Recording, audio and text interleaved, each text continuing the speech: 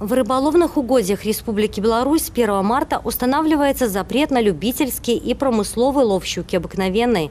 Запрет направлен в первую очередь для сохранения популяции этого вида рыбы. Ведь щука идет на нерест одной из первых. В период запрета случайно пойманный хищник должен быть отпущен назад в водную стихию. В противном случае нарушителю придется заплатить за вред, причиненный окружающей среде – 229,5 рублей. Это 9 базовых величин. Кроме того, нарушителю грозит административный штраф в размере от 510 до 1275 рублей. Это от 20 до 50 базовых величин.